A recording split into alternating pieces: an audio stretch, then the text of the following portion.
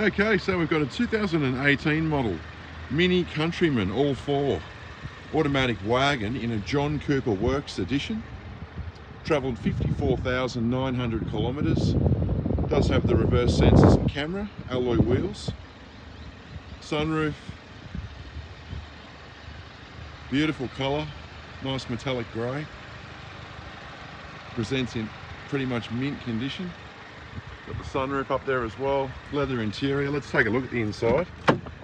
We've got the multi-function steering wheel there on the uh, on the steering column, little dash there. Got the heads-up display there as well, if you can see that.